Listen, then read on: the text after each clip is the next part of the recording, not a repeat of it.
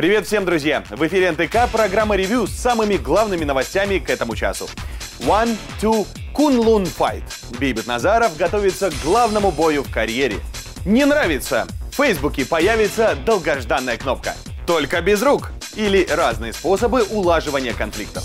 Никаких денег не жалко. Казахстанцы назвали тех, кого хотят видеть у себя на той. Хью Джекман на грани срыва. У актера началась белковая депрессия. Бейбот Назаров завершает подготовку к главному бою в своей карьере. Пояс чемпиона мира по смешанным единоборствам сейчас красуется на торсе казахстанца. Однако американский соперник с завистью посматривает на нашего Батыра и готов регалии забрать себе. Прощаться со званием лучшего в мире Назаров не намерен. Говорит, и с настроем, и с физической подготовкой все отлично. Более того, казахстанского Батыра не пугает и тот факт, что его соперник Кевин Форент – универсальный боец. Я не могу сказать, что он слабый соперник, но слабые стороны у него все же есть. Сейчас мы с командой их ищем и пытаемся выстроить тактику. Напомним, звание чемпиона мира в среднем весе по версии Кунлун Файт Бейбет получил после победы над бразильцем Бруно Рубиньо. После этого казахстанец защитил свой пояс в Китае и теперь планирует сделать то же самое в Астане. Победу брата верит и Ардак Назаров. В беседе с журналистами абсолютный чемпион Азии по смешанным единоборствам проговорился. В скором времени родственники будут тренироваться вместе. Меня часто спрашивают, когда я снова вернусь в игру. Сейчас хочу официально заявить, в ноябре-декабре я планирую провести бой. О титуле и предстоящем сопернике пока ничего не могу сказать. Всемирный чемпионат по смешанным единоборствам MMA Kundun Fight for Cage Series состоится 4 октября в Астане. Помимо Бейбета Назарова участие в нем примут еще четыре казахстанских спортсмена. В общем же ожидаются бойцы из 14 стран. Сабина Таргаева, Ерлан Абдуалиев, Новости Ревью. С такими-то силами Бейбету Назарову совершенно не стоит опасаться злоумышленников. А вот всем остальным даже не знаю. В свете последних событий кажется, что уроки самообороны совсем не помешают, особенно девушкам. Или, может, любой конфликт можно уладить полюбовно. В сетях еще не остыли обсуждения инцидента в одном из столичных кинотеатров, когда перепалка между клиентом и продавцом закончилась рукоприкладством. Психологи считают, что в любой конфликтной ситуации вина обеих сторон очевидна. Не просто так люди становятся жертвами психологической агрессии. Тот человек, который получает э, по морде, ну вот грубо говоря, а, как правило, делает что-то такое, что именно ему достается, а не другому человеку. Более того, кулаками махать совершенно не обязательно, и это тоже мнение специалистов. Большинство спорных моментов можно уладить мирным путем. От любой э, какой-то э, патологичности можно банальной вежливостью себя защитить, этикой и умением ну, свои чувства сдерживать, придерживать. Если ваши природные очарование и вежливость не дали нужного результата, то быть готовой к нападению – лучший вариант.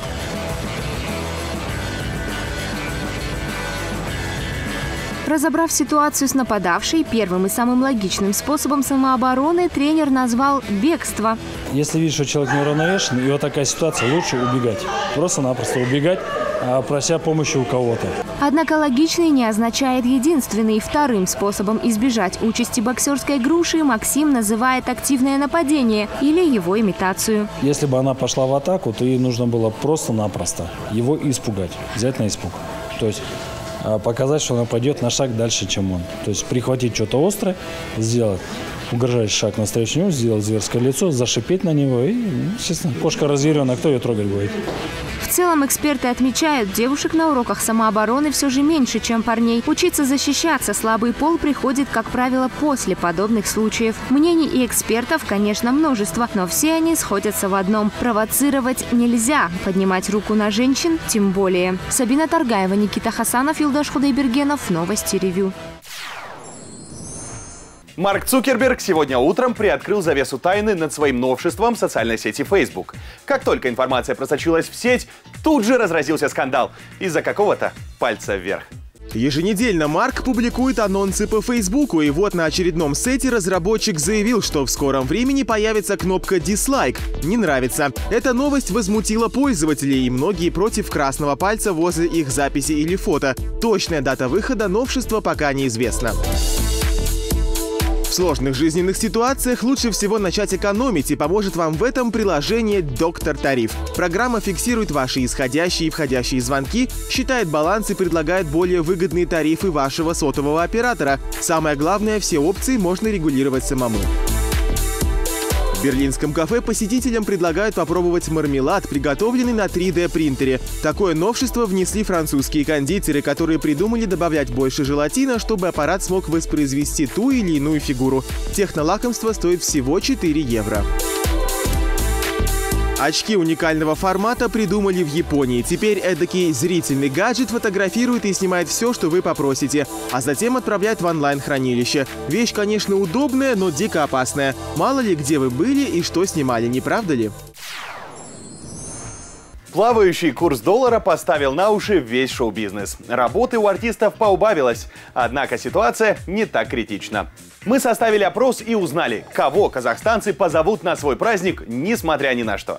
Ситуация с долларом коснулась многих, и сфера шоу-бизнеса не исключение. Однако поток зарубежных артистов в страну не уменьшился, да и гонорары за свои выступления ребята усмирять не собираются. А если говорить про артистов, которые, э, как говорится, берут не очень много, то все остается в тех же рамках. Скажем так, ценовой диапазон до 5000 э, долларов либо евро – это приемлемая цена, в принципе, до сих пор. Как говорят организаторы мероприятий, в Казахстане уменьшилось количество больших концертов. Сейчас гораздо чаще звезды мирового и не очень уровня работают на приват-вечеринках. Мы провели опрос на нашей страничке в Инстаграм и узнали, кого из казахстанских артистов люди позвали бы на свой праздник, несмотря ни на какую экономическую ситуацию. Дильнас Ахмадиева, Кеш, Юберкут и Аиша, Музарт с Розой Рымбаевой. В топе всех топов он, единственный и неповторимый. Кайрат Нуртас не меняет позиции, все равно остается любимчиком публики и именно что самый желанный артист на всех свадьбах. Все понимают, что будет сложно и начинают делать скидки, акции. Продюсеры и букеры между делом предложили артистам потихоньку переходить на тенге и брать плату за шоу в национальной валюте. Каждая третья свадьба в Казахстане могла позволить себе э, пригласить какого-нибудь артиста из казахстанской эстрады, пусть не топ-1, допустим, да, не народных, не заслуженных, не самых современных, популярных, а уже так чуть-чуть поменьше, но могли. Сейчас уже стараются обходиться лайв-бендами. В любом случае, большая казахская вечеринка всегда должна проходить с размахом, поэтому, несмотря на все капризы доллара, на сцене будет плясать Бейонсе, МС Сайлаубек и закончится все танцами живота от Беркута и Аиши. Артем Абленко, Илдаш Худайбергенов, Даурен Миргалиев. Новости ревю. Друзья, мы снова с вами. Продолжаем. Хью Джекман сидит на диете. Актер изнуряет себя тренировками и голодом, а все ради того, чтобы получить на 7 миллионов долларов больше обычного.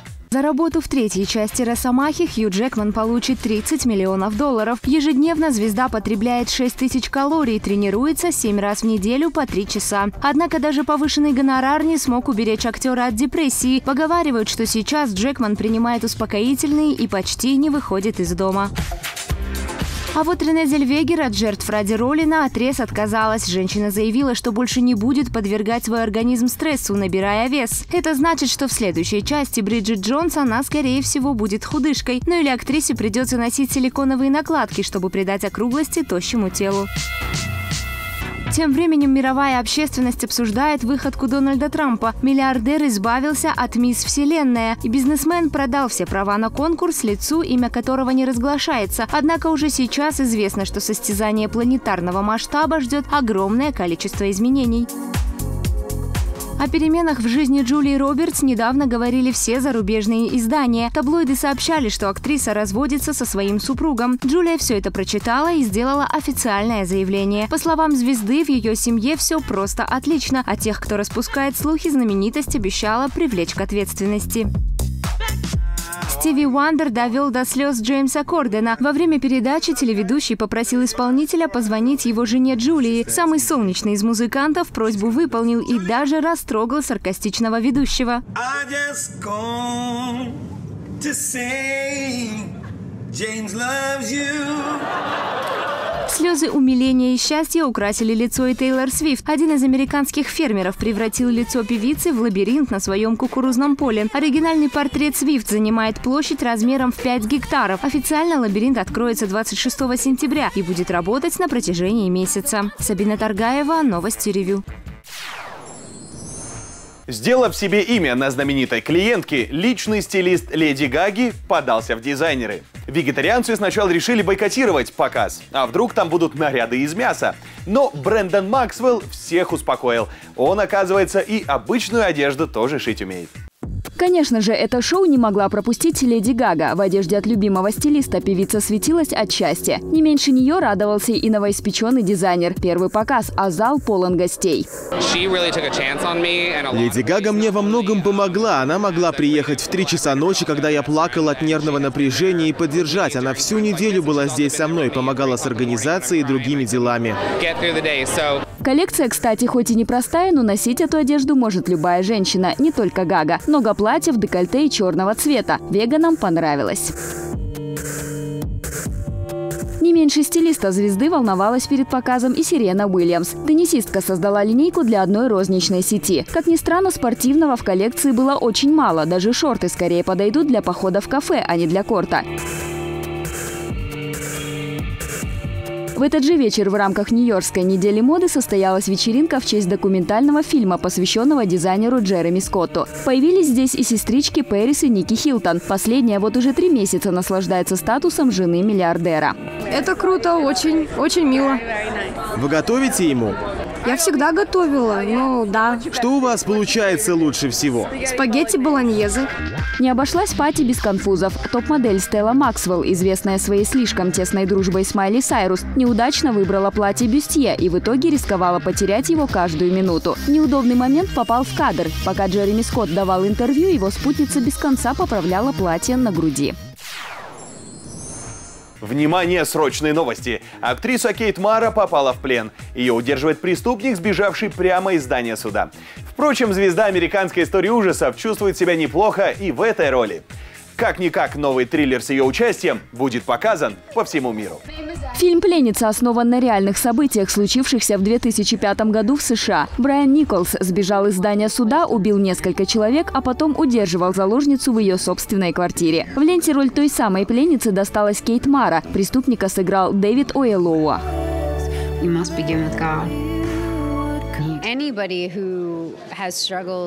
Те, кто хоть раз оказывались в подобной ситуации, знакомы с этим чувством беспомощности и необходимости чьей-то помощи и поддержки. Хорошо, что мне не пришлось пройти через это, чтобы войти в роль. История будет понятна любому человеку. Премьера криминального триллера состоится в США уже через пару дней. Дата релиза в Казахстане пока неизвестна. Поэтому вот вам спойлер. Кейт Мара не пострадает, а преступник сдастся полиции без боя. Любимое кино никогда не надоест. В Алматы в рамках празднования Дня города проходят показы старых добрых фильмов отечественного производства. Пять дней подряд в кинотеатрах Алматы проходят ретро-показы. Нашего милого доктора, музыкальную Алмату и другие картины можно увидеть на большом экране бесплатно. Все это организовано для повышения интеллектуального уровня и художественного вкуса горожан. Целевая аудитория разная, но большие надежды возлагает на зрителей помладше. К сожалению, сейчас вот э, молодежь не знает э, наших вот казахстанских артистов, многие им подавая американских вот блокбастеров. Подобные кинопоказы проводятся ежегодно, пока на них собирается не так много народа, как хотелось бы. А все потому, что узнать о мероприятии можно только на нескольких страничках в интернете. К сожалению, мне кажется, у нас не очень хорошо освещаются такие события.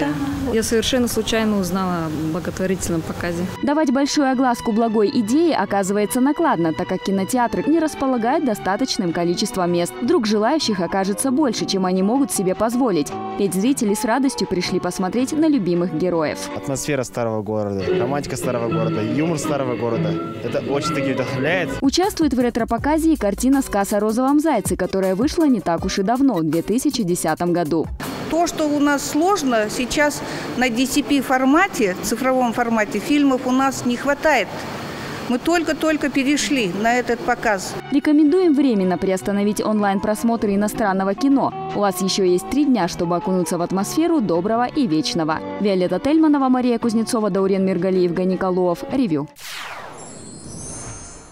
В Америке произошел забавный случай. В одну из гостиниц решил заселиться рогатый постоялец.